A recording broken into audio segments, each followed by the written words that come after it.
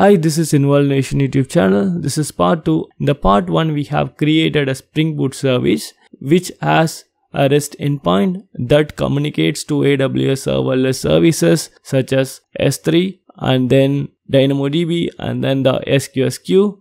And now we will create a local stack Docker container and then we will be utilizing the Terraform to deploy the resources to the local stack and then we will test this application in our local.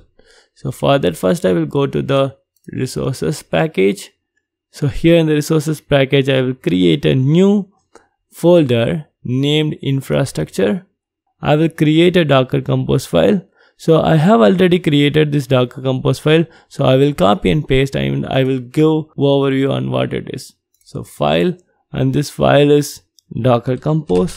So here we are utilizing the local stack image and this is coming from local stack and I am utilizing the latest version and then the container name is local stack and I am using the ports 4566 and other ports for different services which is used in the local stack and then I'm using the host name as local stack and here I have defined the region as US East 1 and then here I have provided the access key and the secret key as test and test.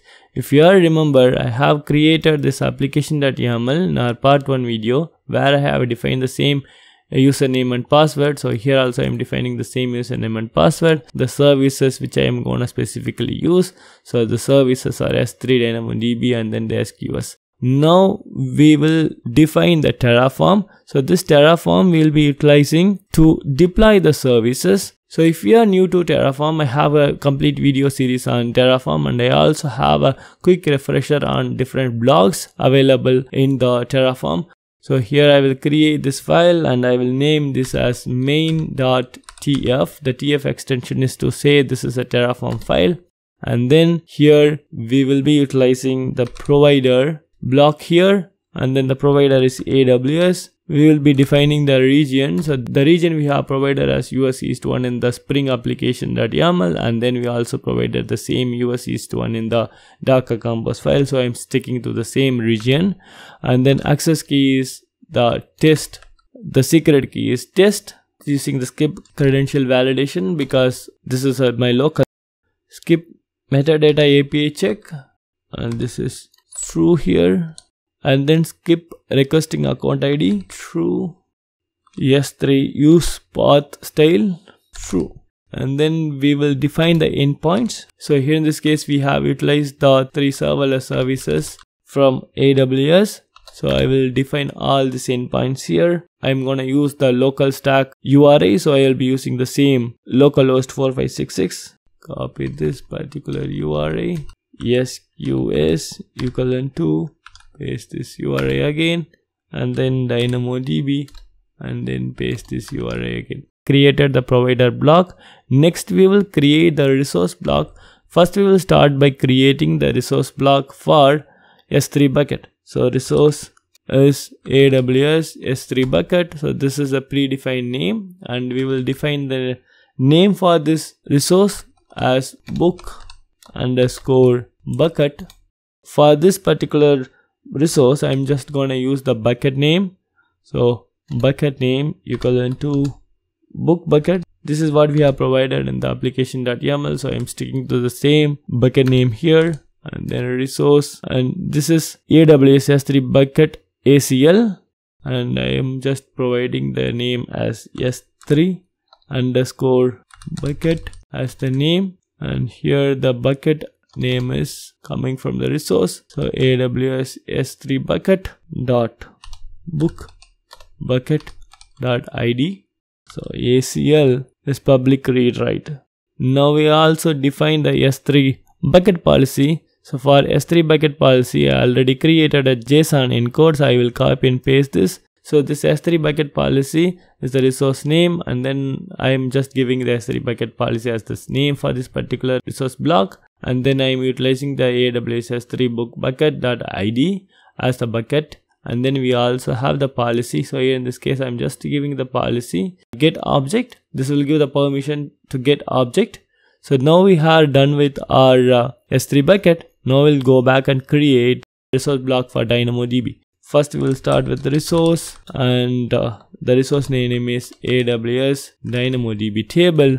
And then here the name. I will give it as book underscore table. Here i will name this table as book. And then read capacity is 2 write capacity is just giving it as 5 and then hash key. So the hash key is the primary key here.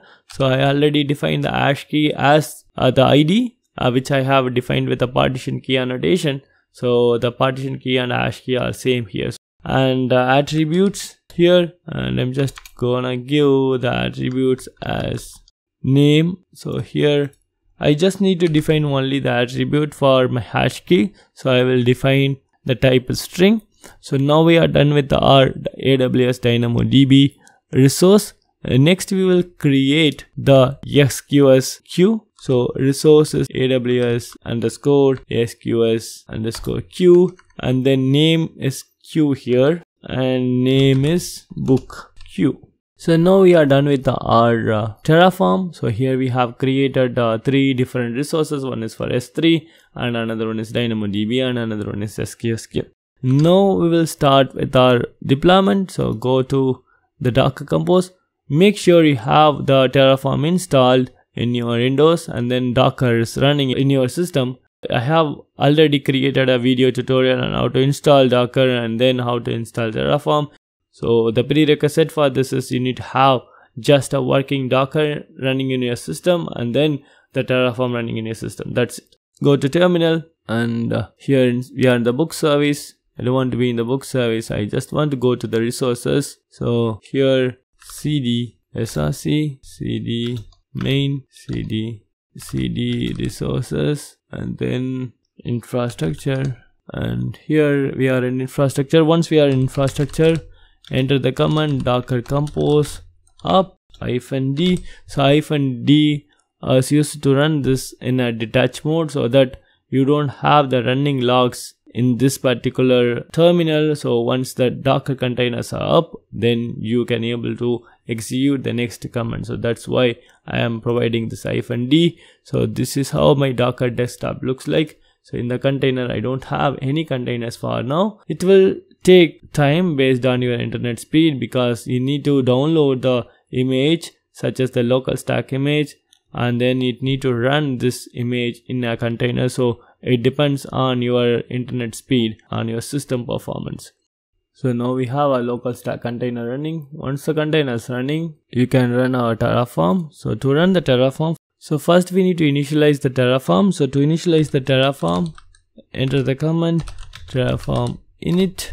So this will initialize the plugins. So here we have provided the plugin as aws plugin. And then once that is done once uh, terraform init is successful run terraform plan so now the terraform plan is successful here we are getting a just a warning this is because we haven't provided the account id that is fine because we are going to use the local stack so use terraform apply and add yes now we have created all the resources.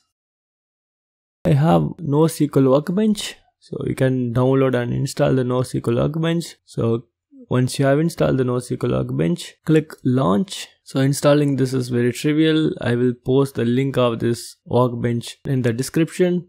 You can download it from there and from there it is easy installation process. We need to enter the operation builder and here in the operation builder, I already added a local stack connection so add connection here dynamodb local here this is local host and then 4566 and then the connection name is local stack. Then connect. And then you can open this. And then you can able to see there is a table name. Book is created and the book table is empty. So this will provide a nice way to really view what are the different data available in the book table. We will explore what is there in this postman request. So in the postman request, we have the endpoint. So that is localhost 8085 book service API and upload. We have the endpoint as localhost 8085 book service API and then upload.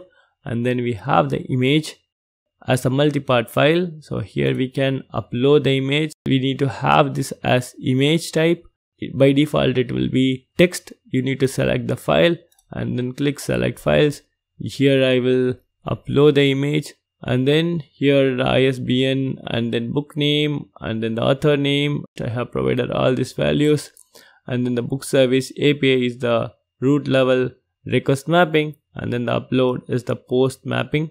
So I have defined this as post mapping here. So go back to the book service and then go to our uh, Java code and here book service application. Run this book service application here here we need to add the at configuration properties scan configuration properties scan. So once you have added the at configuration property scan that's when the application properties will be enabled. So now restart the book service application. Now application is successfully started now go back to the postman here and then click send. So now we have successfully processed the data. So now go to the workbench refresh click scan here. Now you should see an entry here and then you have book author name and then the image url you have here and then the isbn also you have here. So now so if you click this control click this created a file and you have downloaded this file so if you change this extension to .jpg then you will get the file so now this file is really stored inside the S3 bucket and you have persisted that uh, URI in the DynamoDB. We have seen how to test this Spring Boot application which is utilizing the AWS serverless application and we have tested that using the local stack. In our next video, we will see how to utilize the test containers with the Spring Boot to create our integration test and we will be also utilizing the rest assured for API testing.